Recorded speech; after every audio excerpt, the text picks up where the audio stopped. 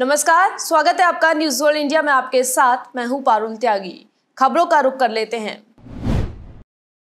उत्तराखंड के नए मुख्यमंत्री पुष्कर सिंह धामी होंगे। देहरादून में शनिवार को हुई बीजेपी की विधायक दल की बैठक में ये फैसला लिया गया है। बता दें, तीरथ सिंह रावत के मुख्यमंत्री पद से इस्तीफा देने के बाद कई नाम इस पद के लिए रेस में आगे आ रहे थे, जिनको पीछे करते हुए पुष्कर सिंह धामी ने बाजी मार ली है। पुष्कर सिंह धामी आज सीएम पद की शपथ लेंगे। विधायक दल की बैठक में नाम के ऐलान होने के बाद ही पुष्कर सिंह धामी ने राज्यपाल बेबी रानी मौर्य के सामने दावा पेश किया। अब आज शपथ ग्रहण समारोह होगा। पहले कयास लगाए जा रहे थे कि धामी शनिवार को ही मुख्यमंत्री पद की शपथ लेने जा रहे हैं। लेकिन सूत्रों के मुताबिक वो शनिवार को शपथ नहीं लेना चाहते थे। कल बीजेपी के सभी विधायकों की दोपहर तीन बजे बैठक बुलाई गई थी। दिल्ली से पार्टी आलाकमान ने बतौर पर्यवेक्षक केंद्रीय मंत्री नरेंद्र सिंह तोमर को देहरादून भेजा था। पुष्कर सिंह धामी के नाम की घोषणा होते ही पिछले कई दिनों से राज्य में चल रहा सियासी संकट भी अब खत्म हो गया है। ये संकट उस समय शुरू हुआ था जब केंद्रीय नेतृत्व ने राज्य के पूर्व मुख्यमंत्री तीरथ सिंह रावत को दिल्ली तलब किया था। राजस्थान कांग्रेस में चल रहे सियासी घमासान के बीच गहलोत और पायलट खेमे में सुलह के आसार अब नज़र आने लगे हैं। इस्तीफा दे चुके पायलट समर्थक विधायक हेमा राम चौधरी का इस्तीफा नामंजूर कर दिया गया है।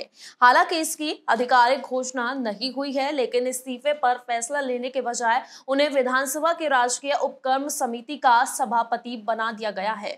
विधानसभा समितियों में पायलट खेमे के विधायकों को अहम जिम्मेदारियाँ दी गई हैं, खासतौर पर राष्ट्रीय उपक्रम समिति का सभापति की ज़िम्मेदारी इस्तीफे की पेशकश कर चुके विधायक हेमाराम चौधरी को सौंपी गई है। यानी इन समितियों के ज़रिए पायलट कैंप के नेताओं को एडजस्ट करने के साथ साथ हेमाराम चौधरी इस्तीफा प्रकरण का भी पटाक्षेप कर दिया गया है। विधानसभा अध्यक्ष सीपी जोशी ने ही हेमाराम को अहम समिति का सभापति बनाया है, जिसका सीधा मतलब है कि उनका इस्तीफा मंजूर नहीं किया गया है।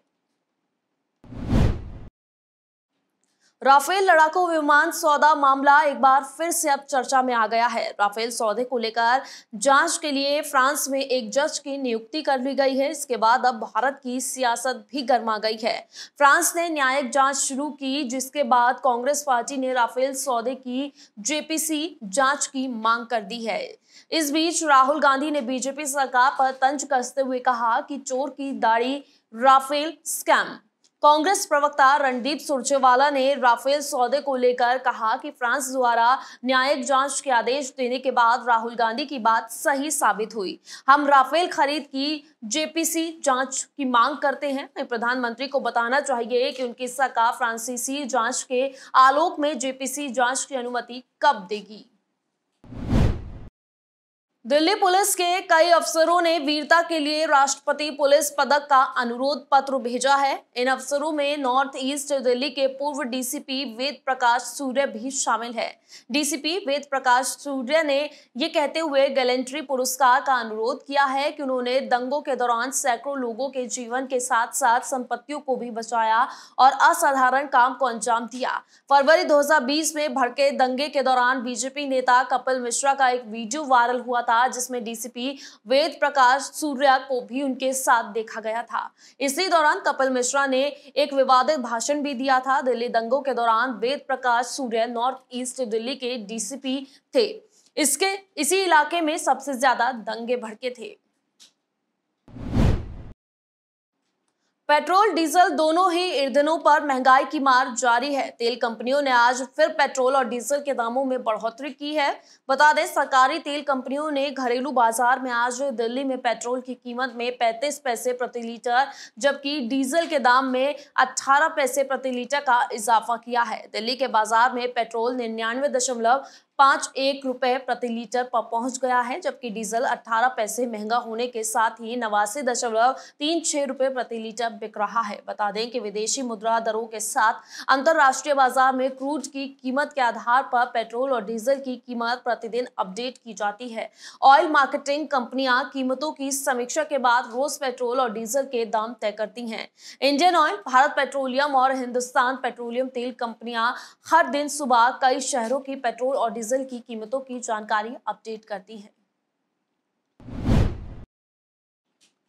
भारतीय महिला टीम ने तीसरे वनडे मैच में इंग्लैंड को चार विकेट से हराकर तीन मैचों की सीरीज़ में सांत्वना जीत दर्ज की है। कप्तान मिताली राज की पिछहत्तर रनों की नाबाद पारी और आखिरी ओवरों में छठे विकेट के लिए हरफन मौला स्नेह राणा के साथ 50 रनों की साझेदारी के दम पर भारत को ये जीत मिली।